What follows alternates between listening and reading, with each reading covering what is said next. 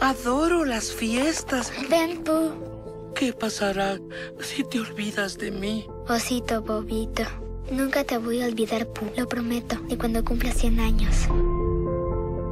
Robin, trabajaremos el fin de semana. Pero eh, prometí a mi esposa e hija que íbamos a salir el fin. Todos tienen que estar. ¿No vendrás a la cabaña? Es inevitable. Tu vida está pasando ahora, justo frente a ti. ¿Qué hago? ¿Qué hago? ¿Qué hago? ¿Qué se puede hacer? ¿Pooh? Christopher Robin. No. El árbol que recuerdo estaba en el campo, no aquí en Londres. Y no tiene entrada. Supongo que está donde tiene que estar. Ay, qué tonta explicación. Muchas gracias. Pooh, ¿por qué estás aquí? Oh, sí, te necesito. Perdí a todos mis amigos. Vamos al fondo de esto.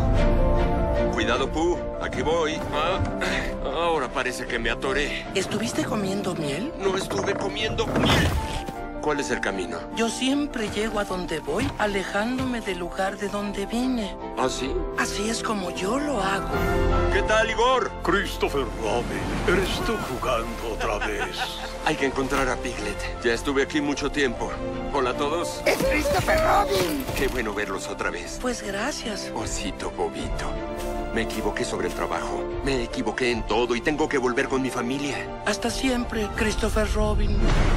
Ay, quisiera que hubiera durado un poquito más. Tal vez ahora nos toca salvar a Christopher.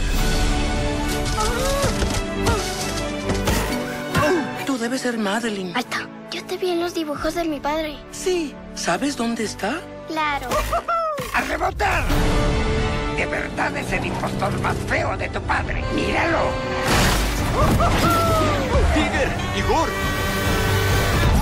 ¡Piglet! Si alguien desea aplaudir, es el momento de hacerlo.